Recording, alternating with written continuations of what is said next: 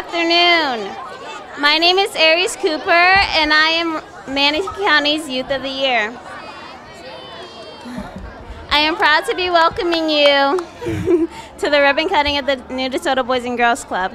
The organization has been here for over 70 years, and the DeSoto Club has been operating for over 50 years. The club has impacted the lives of many children in many more ways than one. From encouraging them to participate in program, sports, and academics to helping them fill out college applications. All children need the support, and many may not receive this guidance from home. So, thank you for supporting us by volunteering, donating, and advocating. Thank you for supporting the Boys and Girls Club in Manatee County and youth like me. Thank you.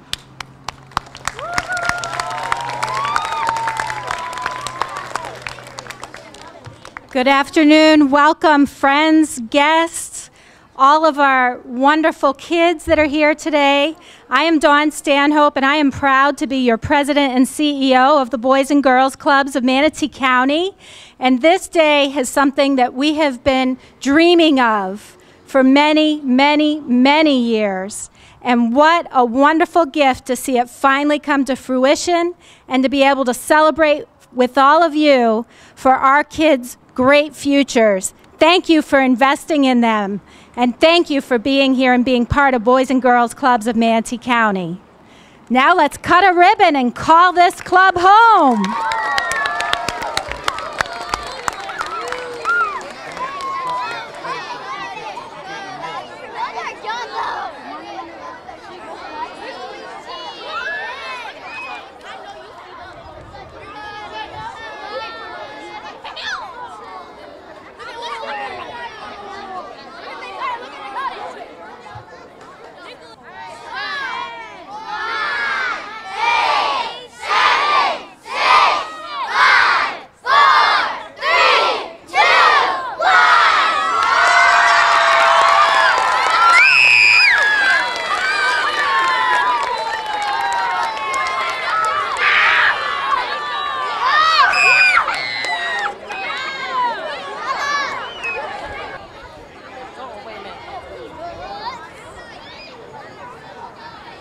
It's been a long journey to get to this point. There's been discussions about rebuilding the DeSoto Club for over 10 years. In fact, there were a couple of attempts made to start raising money and they had to be put on hold for various reasons. And so, a couple years ago, when we were able to get the group together and really formulate the plan and work the plan and raise the money, we were able to put it all into action. And so, this is a great labor of love for so many people and we're just blessed beyond measure to see it come to reality. Well, before we could go out in the community and really ask for their support, we had to go to those that are closest to the Boys and Girls Club and say, Would you please come in as a significant donor so that when we go out to talk to others, they see that this is really going to happen? And so some of the first people that came to our um, assistance to come to our call were Pat and Charlene Neal, who made a wonderful gift towards our flex fields. And we also had the Deerbrook Charitable Trust, who came in as a significant donor, not wanting to do it for their own namesake, but in honor of Mr. Carl Weeks, who, as many people know, was a, a fixture in the Boys and Girls Club movement for over 40 years. So they were some of the first people to come on board Senator Galvano went to the state and was able to appropriate a million dollars towards the project, which was very significant as well. And from there, we started talking to our board leadership, to other community members, and before you know it, in just over two years, we had just over seven and a half million dollars. Well, I could probably talk to you for a half hour about all the features of this club and then some. But one of the things I want to talk about is the collaboration that took place. We used a design build model for this project. So we had Ugardi Architects with NDC Construction and ZNS Engineering as our team to get everything started. And one of the things we figured out very early on was that the costs were going quite up from what we had initially thought. We had initially gauged about $6 million towards the building and $1.5 million towards our endowment to sustain the operations. And what we found through the design phase was that it was going to cost closer to $8 million to build this facility and do it right. What was really cool about that is we talked to some financing partners, including Synovus Bank, PNC Bank, and Florida Community Loan Fund, and we were able to leverage our funding from our donors with the New Market Tax Credit Project. In fact, we are featured with the New Market Tax Credit Coalition, and we're able to see our project on the front page of their annual report, which is based on 400 plus projects across the United States. So, Boys and Girls Club made it to the front page of that publication, and it was just a great way to leverage a different additional resources. So, we ended up with about $2 million in leverage tax credits to put into the building. You know, when you go through the building and you see some of the features, one of the things that you'll notice right away from the outside is how big it is. This is a 37,500 square foot facility and it has two entrances one for our younger members from kindergarten up until middle school, and a separate entrance for our high schoolers in our teen program. The teens have their own separate area. It's great, they love it. They don't have to worry about younger brothers and sisters kind of annoying them when they're here. They get their own space.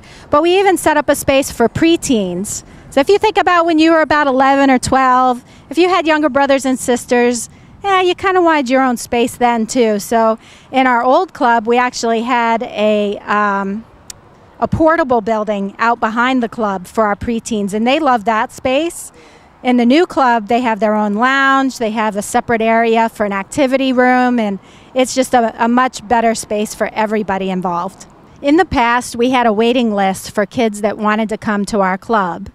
And with this new building, we can almost triple the number of kids that we can serve, up to 600 kids a day that could come to this new club. And we're in a great position in terms of location because we've got the high school, as you mentioned, right across the street. We've got our elementary school just a little bit further down the road and a middle school, all within a very short distance. Not to mention that within a five mile radius, there are almost 20,000 kids under the age of 18.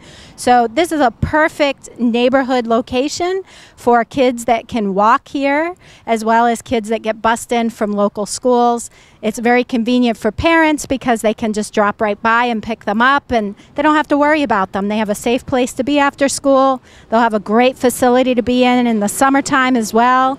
And it's just a, an asset that continues to grow and to um, reach out in our community. We actually just started a new program with Easter Seals. Easter Seals is hosting their teen high school vocational program here at the club. And they actually started on August 12th when school started and used portions of our teen center and our gym and our cafeteria. It's been a great partnership because they needed space for their teens. They have 53 that are enrolled here currently. And right about the time that they get out of school is when club starts. So it's an awesome way to use this building not just for Boys and Girls Club mission, but for other community groups that have a need. And when we have the availability of space, we want to be able to partner together and make that happen. I really want to thank everyone from their from the bottom of my heart for their investment in our kids. As you might imagine, kids today have many distractions and many things that are heavy on their their shoulders and what the clubs are providing to them every day is not just the safe space to be, but a place to do their homework, a place to learn how to grow socially and emotionally and to be great citizens of our community. And for generations to come, this club will serve our community well because of your investment. We encourage people to come see it in person. When you drive by here, you just have no idea what happens inside, and it, it's pretty magical. And I think once you see it, you'll realize that what you've made an investment in is something that will have impacts for generations to come. We encourage you to get involved. We have openings for staff, we have openings for volunteers, and certainly we always have openings for more support as we continue to serve hundreds of kids in our community at this one facility.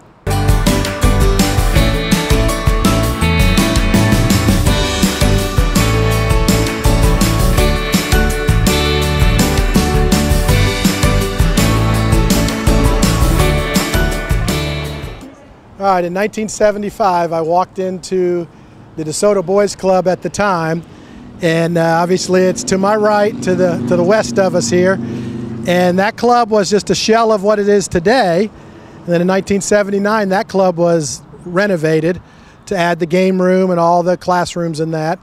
And I remember that day like it was yesterday. So getting to this day as an adult and seeing the excitement in these kids' faces is very exciting. And as we go through this, um, Carl Weeks and I have already been through the old club and looked at some history of some things that that uh, really meant something to him and I more personally than anything else. But um, I always said that the day when that club's torn down will be a very happy day. You know, bittersweet, but very happy because of what we're getting for the, the future of the, this neighborhood and these kids in this community. I, really do believe that when you put in a, a, staple in a community, as the Boys and Girls Club is, it transforms the opportunity for a neighborhood to continue to grow. And it's not just the, the kids that'll be coming in here, it makes the pride of the neighborhood build up. And, you know, every area has opportunities to do things. And I think with all of the partnerships that have come together to build this club through the county, the cities, the anybody that's involved, the, the local donors, the state, everyone has really done a great job to really say, hey, we believe in this community and how do we make it go forward? And, and again, it's about the kids. The walls will be there, but the kids that come through this and the staff that's there, and that, you know, I remember more than anything is the staff. As, as an eight-year-old kid coming in, and you know, it's, it's those relationships that will make the difference for these children that come through this club. Well, I think when you look at it, the opportunity is there. And, you know, one of the biggest things is, and when we were kids, you go in the gym, you didn't think about no air condition. Nowadays, kids think about air condition and they want to be there. But the size of the club will allow this organization through a lot of time to serve three times as many kids as it was serving, and that's the benefit. Also, it'll allow to serve the community in different opportunities. You know, it's got a, a commercial kitchen type, it's going to give opportunity for more things to happen, and you know, just during the day, the club will be utilized for other events and clubs that or uh, organizations that can utilize it, which is a win-win because now instead of just being used after school, it could actually be used seven days a week for a lot of events that actually builds community spirit. Well, I think one of the biggest things for the kids is it's a safe place to go. You know, nobody ever knows what a child's situation is. When you're looking at whether their home life, whether school life, whether it's, you know, just anything in the community, the support that they need, this is an opportunity to have a positive place to go to, also to have a, you know, just basically a safe place you know, and I mean, obviously, as you look through the club when you go in, you see that a lot of things are different in our communities and, and the tragedies we see in our world at schools and different things. This gives them someplace they feel safe and secure, as well as you can get homework help, you can get, or just have fun, play pool, play ping pong, play in the gym. It's just a positive place to be, and that's the most important thing that I think any of us as adults now can give back to our community is that positive place. Well, and, and it's one of those things as that club kid 40 some years ago, almost coming up on uh, 45 years ago, that when I walked in that club, I didn't know how it would change my life. And, you know, I've said this many times without the club, I wouldn't be able to be the, the father, the husband, the community person, the just overall, I wouldn't be able to be on the city council. The club changed my life, and I want to thank the community for making this opportunity available to hundreds and thousands of tens of thousands of more kids for the future.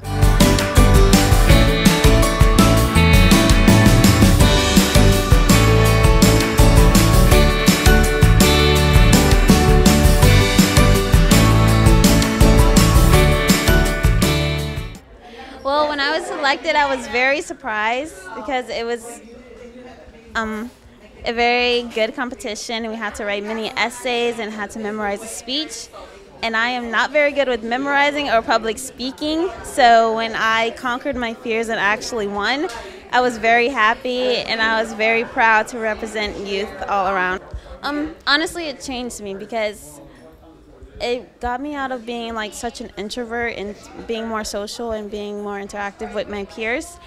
And conquering fears like public speaking and teaching me about teamwork and being a leader.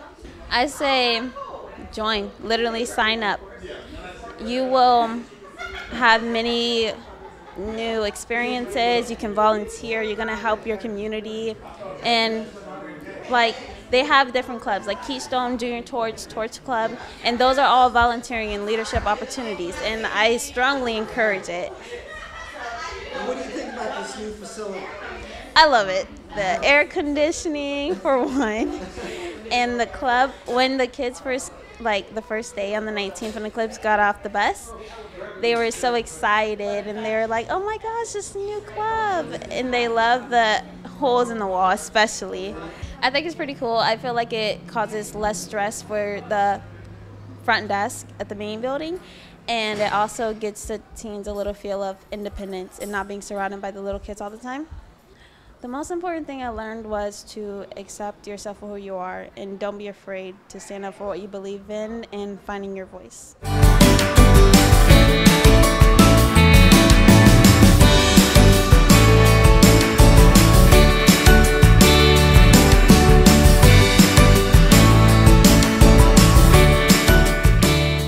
I'm overwhelmed. It is so spectacular. You know, we started working on this project 20 something years ago when we knew the old club next door was deteriorating and we needed something to satisfy and, and provide a service for all you young ladies and men here in, in Manatee County. And look what we have today. I mean, this is just a exciting, glorious day for Manatee County. I think the big thing here is, is it allows them when they get out of school to come to a place where they can learn. They can you can sit there and you can play some sports. You can do your homework. You can get some tutoring if you're struggling in school. It, it keeps you off the streets. It's air conditioned. What can be better than that in Florida? You know, and, and it's, you know, bright colors. You can, you know, expel a lot of your energy. So when you go home at night with your parents, you're going to go right to bed, eat your dinner. You know, I mean, what can be better than that? I was involved in the in the boys' club up in Massachusetts when I was probably y'all's age. You know, and it's just a great place to make friends, develop social skills. You know, sit there and you'll know some of your friends here for the rest of your life. You, there'll be role models for you. You know, some of the instructors here are role models that will make you a better citizen, and it will sit there and, and, and get, put you on a path of success as you get older in life. I don't think you can ever underestimate the generosity of Manatee County. You know, when, when the going gets tough, they step up, you know, and they sit there and they open their wallets and their checkbooks and they know what's right. They know that you all are the future of this county. You're the ones that are going to probably ultimately take care of people like myself and Mr. Clapstaddle, you know? So, you know, it, it, it's just, uh, you know, it speaks volumes to this county that we're a generous county and we believe in the youth. We believe in you kids, you know, that are going to sit there and grow up and, and be responsible adults and, you know, ultimately probably have families of your own at, at some point. And this is what, you know, makes Manatee County such a unique, great place to live. We, we love the Boys and Girls Club.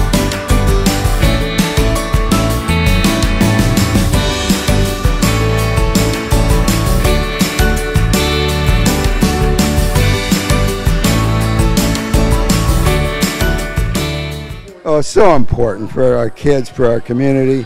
You see these smiling kids enjoying, and they're not on the street. They're having good, you know, examples to follow. Uh, they're learning about education and how to be good citizens and having fun. And I think uh, the the fun part to me uh, is great because when I was a kid, I think I learned the most by having fun, playing games, and how to uh, work with other kids and doing things. And that's what boys' clubs and girls' clubs are about. Well, I'm, I'm going to just say for the school board, uh, the Boys and Girls Club is a great partner, and the school board enjoys working with them uh, to, to make this a better community and for you know the, the success that it has over the years and all those who have come to support it and work with it like the school board. Oh, there's uh, Boys and Girls Club is a great partner, you know, with the school board. We we like to be a great partner with them, and uh, having activities and, and, busing and all of that. It uh, it's it's a real pleasure to work with them. Uh, happy kids are happy school board members, and we're we're trying to um, enlarge our presence with them and with the Boys and Girls Club. I think I'm going to be asked to leave here in a moment to go over the ribbon cutting, but uh, thank you very much for uh, being here and helping the uh, community know what a great job the Boys and Girls Club is doing.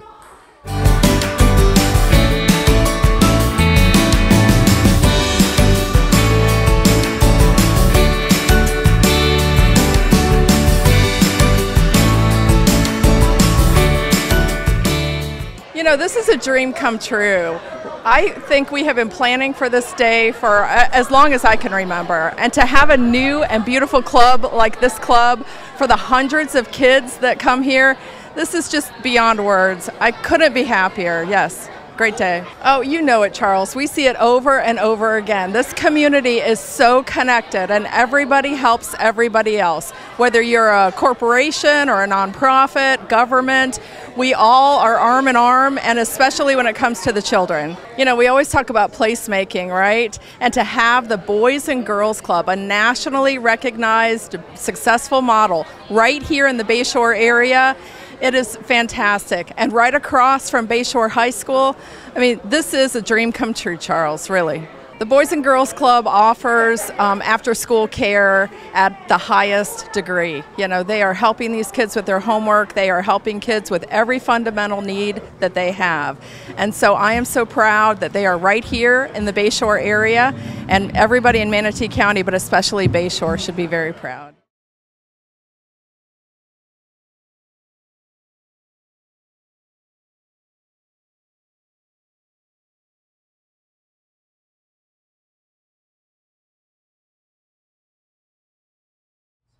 Well, really, I mean, as you can see from the building, one, it's just it's beautiful. It's it's a safe place for all of our kids here, our young people in the community to come, have a place that feels like their home, and it just shows the, the dedication that the community has uh, to our young people here by providing such a, a gorgeous facility for them to come to use, to play in, and feel safe. Yeah, I mean, it was just it was phenomenal. Really, the the outpouring of support from the community just unmatched. It wouldn't be possible without everybody coming together. So really, really neat to see and to actually have this physical monument to, to that dedication. I mean, really, it's it's it's tough to describe the impact. Um, you know, it just just goes on and on and on uh, in the community. I mean, it, it, really it's tough to measure here in, in one day because the it's really a generational um, change in things is, is really important. Oh, absolutely. Yeah. Uh, my father Jim actually is a perfect example of that. He was a club kid back in the late 60s and early 70s, and um, you know now he's in the world of politics too. Hopefully, giving back to his community in the same way. Absolutely. Well, really, first thing I'd like to say is thank you. This is not uh, possible without all of the community coming together to make this happen. So, come come see the place, come take a tour, come check us out, come join us on October 17th for the grand opening party. We'd love to see you here.